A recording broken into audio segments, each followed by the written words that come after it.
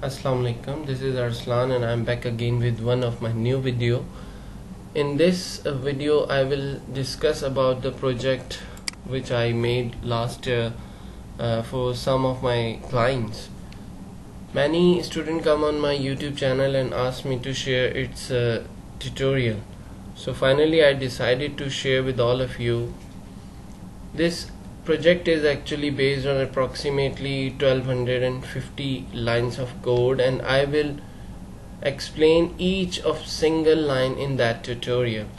Remember this is really lengthy tutorial but you will learn a lot in this. So stay with me and you will learn a lot. So please uh, like this video share with your friends and other student as well and like my channel. Thank you